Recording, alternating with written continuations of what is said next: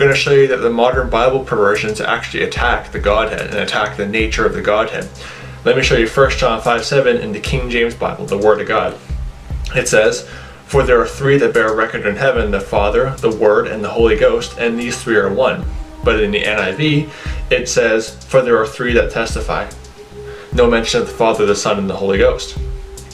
In the New American Standard Bible, just like the NIV, it says, For there are three that testify in the New Living Translation, it says, So we have these three witnesses. Again, no mention of the Father, the Son, and the Holy Ghost.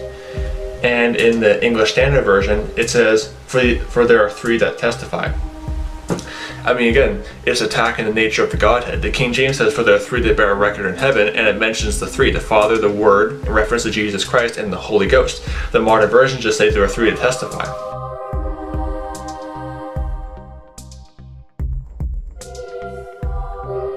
In Luke chapter 2 verse 38, Adam is called the son of God. Also throughout the Bible, believers are called sons of God. However, in John chapter 3 verse 16 in the King James Bible, Jesus is called the only begotten son of God, making a distinction between Jesus who is the divine son of God and Adam who is just a son of God, a creation of God, and also believers who are sons of God through Jesus Christ. However, the modern versions actually remove the word begotten, thereby removing that distinction. In John 3.16 in the Revised Standard Version, it says, For God so loved the world that he gave his only Son, that whoever believes in him should not perish but have eternal life. In the New Life Version, NLV, it says, For God so loved the world that he gave his only Son, that whoever puts his trust in God's Son will not be lost, but will have life that lasts forever in the NIV, it says, For God so loved the world that he gave his one and only Son, that whosoever believes in him should not perish, but have eternal life. So they remove the word begotten. So there's no distinction between Adam, who is a created being, but called the Son of God, and Jesus, who is the divine Son of God, who has no beginning. It removes that distinction, thereby attacking the nature and deity of Christ and nature of God.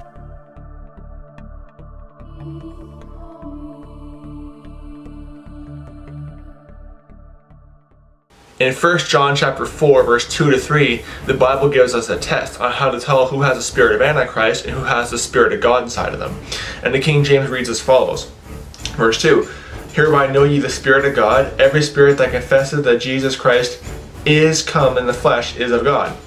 And every spirit that confesseth not that Jesus Christ is come in the flesh is not of God. And this is that spirit of Antichrist, where if you've heard that it should come, and even now already is it in the world.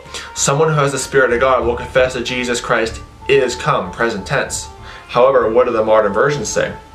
The ESV says, By this you know the Spirit of God, every spirit that confesseth that Jesus Christ has come in the flesh is from God. The NIV says, This is how you can recognize the Spirit of God Every spirit that acknowledges that Jesus Christ has come in the flesh is from God. The RSV says the same thing. It says Jesus Christ has come in the flesh. They don't pass the Spirit of Antichrist challenge. They are of the Spirit of Antichrist. These modern Bible versions limit Jesus Christ to being has come, past tense, like Mohammed, like Buddha, like Confucius. They all have come in the past. Jesus Christ is come. These modern Bible versions attack that and thereby prove they are of the Spirit of Antichrist.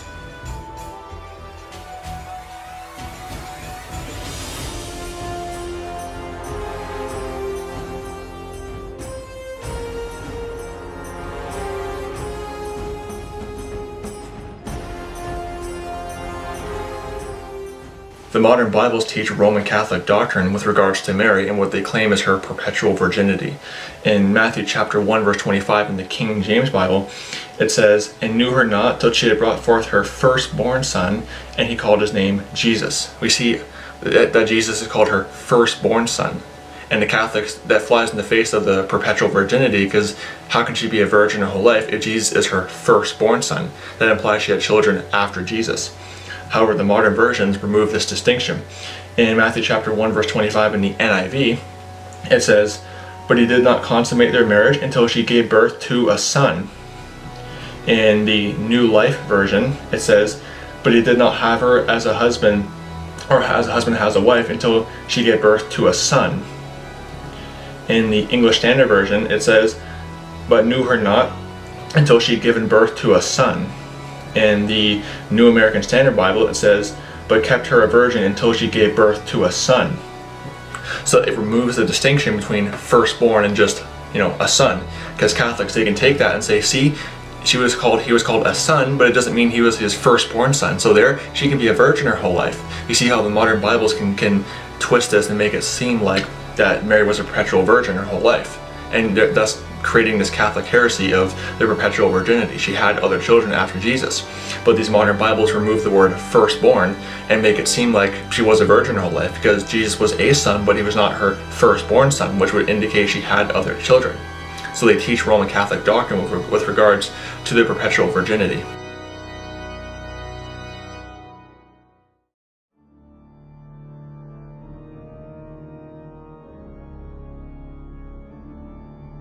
another heresy of the modern Bible versions that is taught by the Catholic Church is beating yourself. The Catholic Church believes you have to beat yourself, that you're co-sufferers with Christ.